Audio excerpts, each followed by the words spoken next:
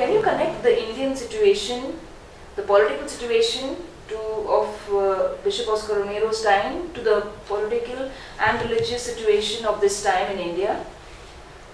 Yeah, that's a very uh, good question. I'd like to offer a caution, you know. We should not get into simplistic uh, dualities or polarities, you know, kind of rich against poor or majority against minority. You have to be very careful about using these categories. What I'd like to point out is the similarity and the dissimilarity. Yeah. The dissimilarity is this, that El Salvador is such a small country, it's just about 6 million. And basically the big majority there are, let's say, Christians, so you don't have Hindus, Muslims, you know, it's kind of a Christian country. So the oppressors and the oppressed, or the rich and powerful and the poor, they are all Christian. So that is the kind of difficult country.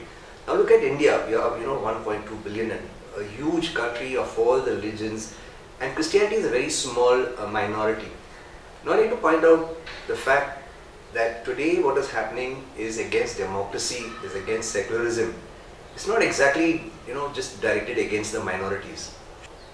If you notice, we have a lot of institutions in India. Now the institutions are not being touched. You know, the poor in various villages, whether they are tribals or Dalits, etc., the work which is going on is being touched over there. Why?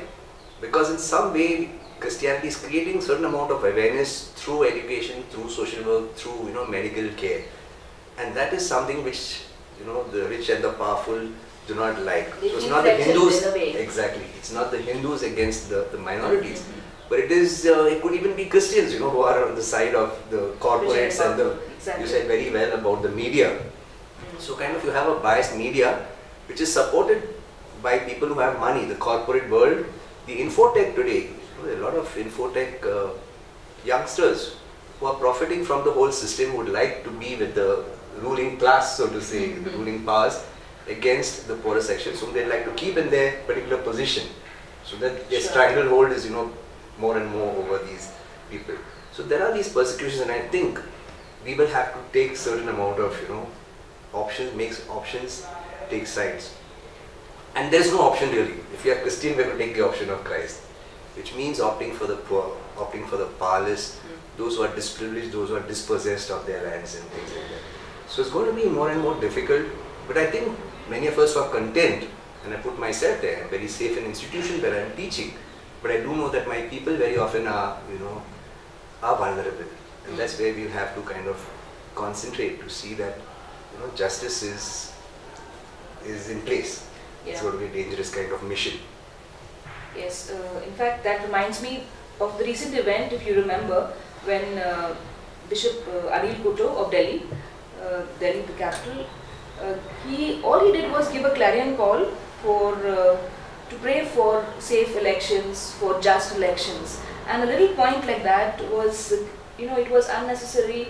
They made a mountain out of a molehill. So things like that are happening in India.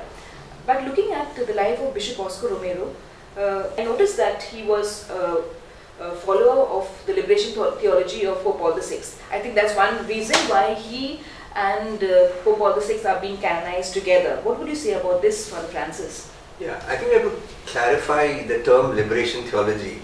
Very often people think liberation has to do just with the economic, social and political aspect. Now that's wrong. If you look at liberation as an integral whole, that means everything, you know, the total liberation which includes so-called salvation. Yes. That is, we are all made to be with God, to go to heaven, so to say.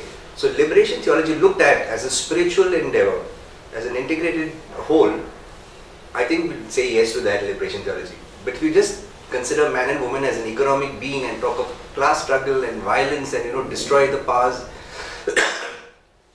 then I think we are on the wrong path. That is not really Christian. So we have to be careful also of the kind of terminology. But I do believe that every one of us, every every person is social, political, historical, moral, aesthetic, and everything. Now you ask me, am I a priest? So Father Francis, he is a religious, so he's not social being, he's not a political being, he's not a. That's very strange, isn't it? I'm Francis. I'm an Indian. I have a political dimension, a religious dimension, a moral dimension, an aesthetic dimension, a social dimension, and all of that. So I know Archbishop uh, Anil Couto very well, and I know the, the Archbishop of Goa also, Philip Neri very well. They are issuing a pastoral letter to tell their people, let's pray for our country. because we are going through certain difficult times, because they are aware that we do have difficult times at present. So I don't see how that becomes kind of, you know, political, it is taken out and suddenly such a big, as you said, Exactly. making a mountain out of a, a molehill. I mean, that's just common sense to be issuing a letter to his people.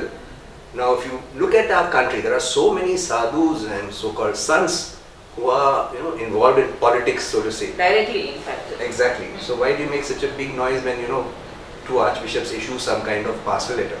I really don't see the point here, except if there is some vested interest behind this whole exercise. And here again, they seem to be, you know, some kind of nexus between the media and the corporate world and the ruling powers, which is a very dangerous kind of uh, mixture. Yes. Bishop Oscar Romero spent his life, as you say, uh, as you spoke during the interview, uh, he gave his life not, not only at the altar at that moment of his martyrdom, but his entire life, especially from the time of uh, his priesthood, has been a constant martyrdom, I would say. Thank you, uh, Father Francis. Thank you. I'm much. sure that uh, Bishop Oscar Romero will bless us.